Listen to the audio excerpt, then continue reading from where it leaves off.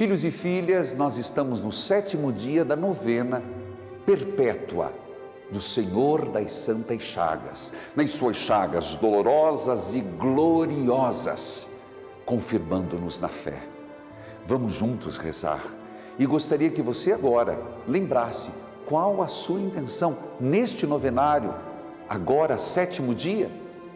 Não desista, a graça vai chegar. Diga ao Senhor com fé. Vamos juntos, queridos filhos e filhas, você que é do Brasil, fora do Brasil, na presença de Jesus Eucarístico, clamar ao Senhor das Santas Chagas no sétimo dia da novena.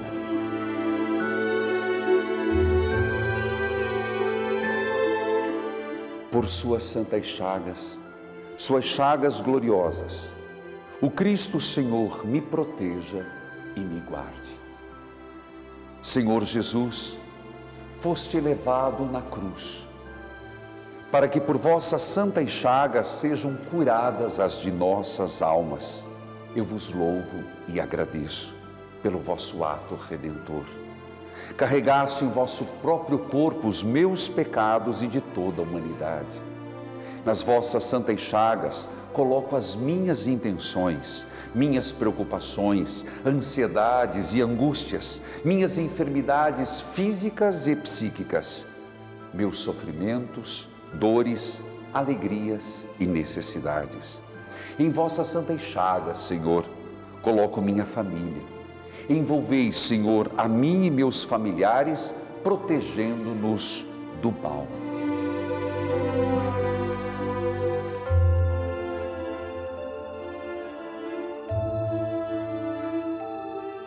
Senhor, ao mostrar vossas santas chagas gloriosas a Tomé e o mandando tocar em vosso lado aberto, o curaste da incredulidade. Eu vos peço, Senhor, permita-me refugiar em vossas santas chagas e, por mérito desses sinais de vosso amor, curai a minha falta de fé. Ó Jesus, pelos méritos de vossa paixão, morte e ressurreição, dai-me a graça de viver os frutos da nossa redenção. Amém.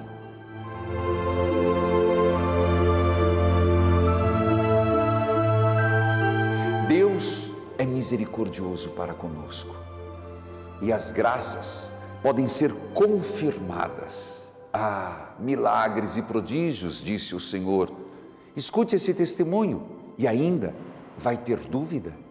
É, meu nome é Eliana Bampi, eu sou de São Domingos, Santa Catarina, uma cidade bem pequena, lá no oeste de Santa Catarina.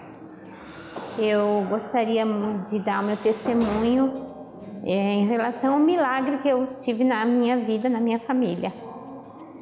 O meu filho sofreu um acidente no ano de 2011, mas infelizmente ele tava, o motorista estava bêbado e bateu de frente com um carro e quase levou meu filho. Ele ficou 48 dias internado, ficou muitos dias na UTI e um dia eu estava no quarto com ele. É, tinha um padre amigo nosso, o padre Sandro de Garrais, lá de São Paulo.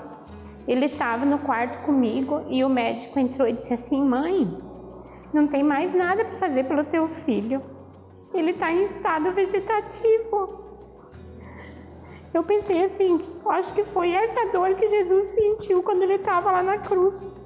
Pela santa chaga de Jesus, eu não, eu não aceito isso, eu não vou perder meu filho. E eu me enchi de coragem e lutei.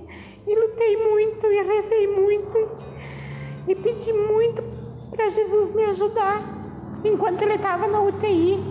E eu consegui. Eu consegui salvar meu filho. Eu levei ele embora pesando 27 quilos, ele tinha 19 anos. Ele não falava nenhuma palavra, ele não engolia nada só por sonda. De fralda, ele não conhecia ninguém. Mas eu lutei muito, eu rezei muito, eu pedi muito para Deus me ajudar, para Jesus me ajudar. Rezei muito a novena das Santas Chagas. Hoje, ele, esse ano, ele se forma em administração, ele está fazendo o TCC ele dirige, tem o carro dele, ele, ele trabalha, ele é um jovem normal. Isso foi um milagre na nossa vida. Queridos filhos e filhas, a obra evangelizar é preciso. 24 horas de programação católica no rádio e na TV. Ela é feita com pessoas que rezam e ajudam. Veja este material.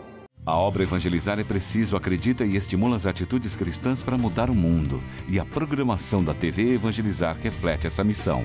Nós propagamos boas notícias, os bons exemplos, conscientizamos e divulgamos boas iniciativas. Mostramos a força e a beleza da fé do nosso povo. E principalmente rezamos por você. Envia esse fogo abrasador de nossas almas. TV Evangelizar. Juntos evangelizamos mais. E eu os convido agora à bênção final, a bênção do lar. O Senhor esteja convosco, Ele está no meio de nós. Que a divina bênção vos acompanhe, que o Espírito Santo ilumine os vossos pensamentos, que o seu poder age em toda parte, tudo que se encontra nesta casa, os que nela entram, os que dela saem. Que Jesus, nas suas santas chagas vos abençoe e vos preserve do mal, para que nenhuma desgraça se aproxime de vós.